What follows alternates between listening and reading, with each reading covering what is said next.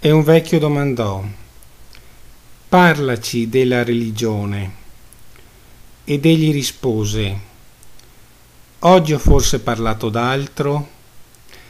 Religione non è ogni azione e ogni riflessione, e ciò che non è azione e riflessione è una sorpresa e uno stupore che eternamente sgorgano nell'anima, anche se le mani spaccano la pietra e tendono il telaio.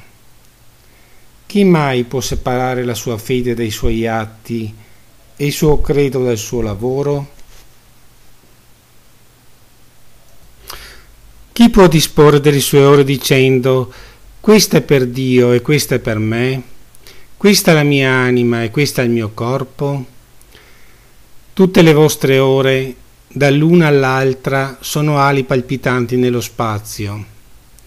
Chi porta la sua moralità come l'abito più bello, meglio sarebbe se ne andasse nudo. Il vento e il sole non scaveranno la sua pelle. E chi si conforma all'etica per consolarsi, imprigiona in una gabbia il suo uccello canoro il canto più libero non giunge tra i pali e tra le sbarre.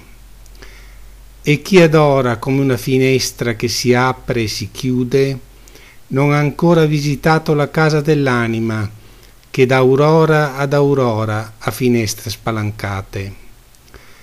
La vita quotidiana è il vostro tempio e la vostra religione.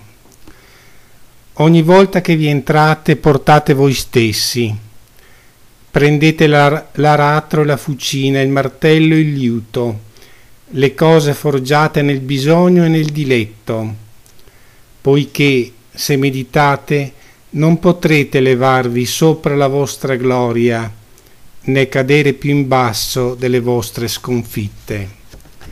E prendete con voi tutti gli uomini, poiché se adorate non potrete volare più in alto delle loro speranze, né umiliarvi sotto la loro disperazione. E se volete conoscere Dio, non siate solvitori di enigmi, piuttosto guardatevi intorno e lo vedrete giocare come i vostri bambini, e guardate lo spazio, lo vedrete camminare sulla nube, tendere le braccia nel bagliore del lampo e scendere con la pioggia. Lo vedrete sorridere nei fiori e sulle cime degli alberi sciogliere carezze.